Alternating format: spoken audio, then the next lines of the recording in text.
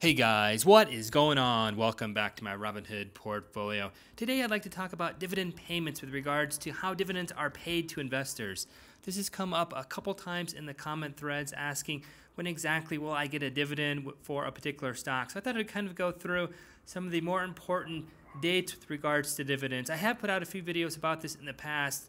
Check those out, but I'll do a little bit of an updated video now for you guys since this, like I said, has popped up so many times in the comment threads. You can see here I have my dividend history pulled up here, pending dividends on the top here. You can see on the left their company name as well as date. And if I open up one of these particular dividends, you can see the amount per share that has been uh, declared for each uh, share held for this particular company. So that's the first date is the declaration date.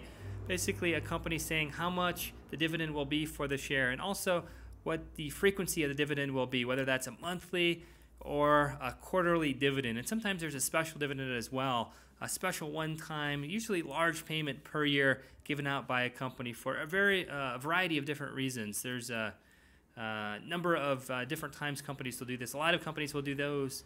Uh, special dividends at the end of the year. Other companies will do it after special earnings reports, so on and so forth.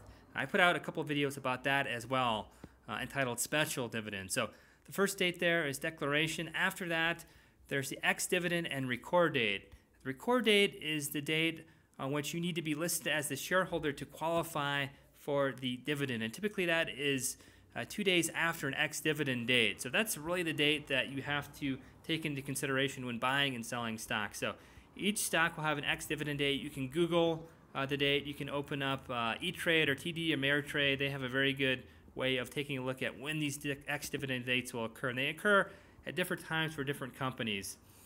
Um, if you have the stock on the opening bell of the ex-dividend date, so you basically have to buy it a day prior. It doesn't matter if it was a day, a week, a month prior. You simply have to have it held on the opening bell of the ex-dividend date. And then any stocks that are sold or bought on that ex-dividend date, the dividend still goes to the shareholder that had held it the day prior or when the opening bell happens, whoever has held that stock in their name basically gets that dividend. So uh, you qualify for the dividend, like I said, off the ex dividend date. Typically, that's two days before the record date, and that's really when the uh, date happens for uh, companies uh, to know who qualifies for the uh, dividend date. But it really doesn't make any difference to the investor. They simply have to hold the day prior on the opening bell of the ex dividend date. You can sell off on the ex dividend date, and you still qualify for that dividend. And then after you qualify for that, there will be a payment date. And you can see here, I have a lot of pending dividends on the left. You can see a date as well. That's essentially when the dividend will be paid. So up top there, up IBM, IBM, excuse me, June 10th, it'll pay $1.50. So I have one share of that, it'll pay $1.50. We go down a bit here. One of my larger dividends is from Ford here. You can see I have 2,279 shares at 0.15 per share.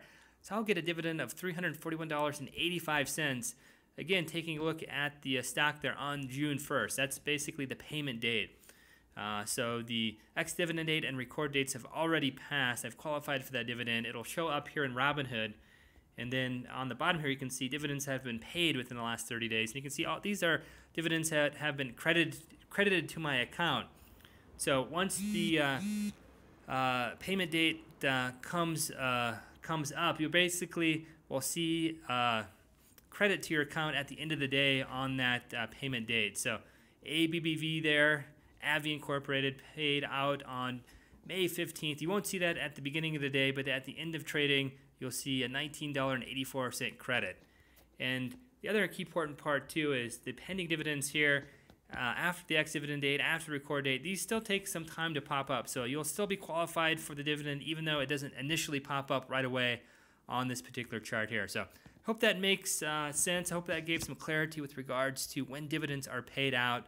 Uh, four different dates there. I have put out, like I said, a couple other videos about this as well, taking particular stocks and uh, taking a look at all their different dates, ex-dividend date, record date, payment date, and when the uh, dividend was declared. So hope that makes sense. If there's any questions, let me know. And kind of with that, I'll end the video. As always, if you enjoy my videos, feel free to like, share, and subscribe.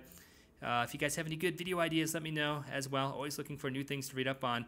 And until next video, we'll see you then.